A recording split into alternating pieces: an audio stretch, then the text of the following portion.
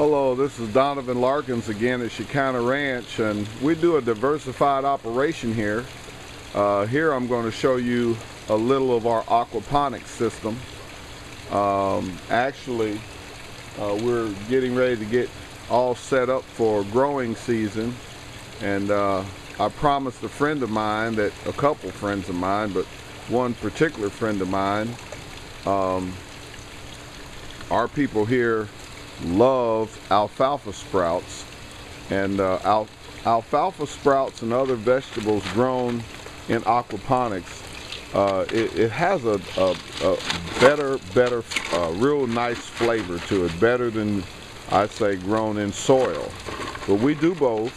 But here I'm gonna I don't have my camera person today so uh, I'm gonna be doing all this with with working with one hand and two hands where I can because I'm holding the camera. I don't even have my tripod today.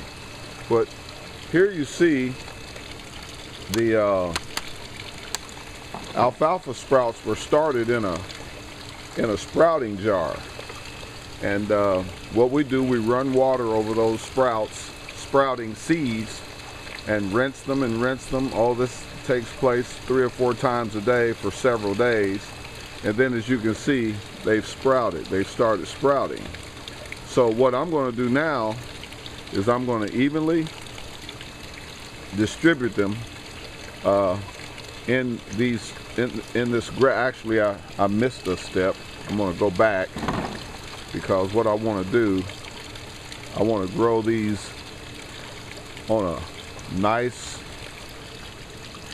bed of clean paper towels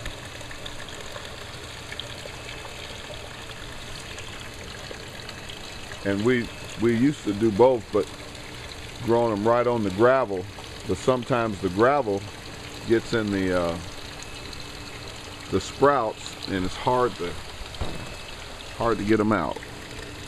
So now what we do we place a nice bed of paper towel and that paper towel is going to get damp okay? It's going to get damp. And forgive me for the lack of balance on my on my camera work, but I'm, I'm soloing it today.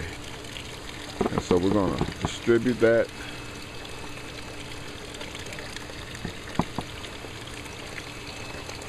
and we'll even it out. And these are gonna be tasty. And it'll take just another couple days for them to be ready to eat. You put them on your salads, juice them. Very nutritious for you. Now, when we're sprouting them, sprouting the seeds, we do it in darkness. We cover them up so light can't get to them, and that's how they grow.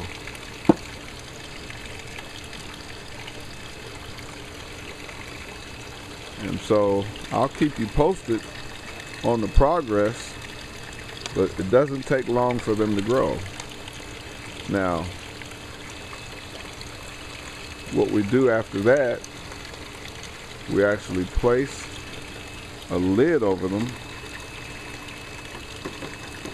and they continue to do their God-given work.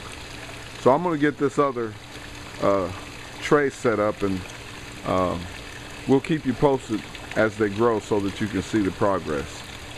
God bless you. We'll see you later.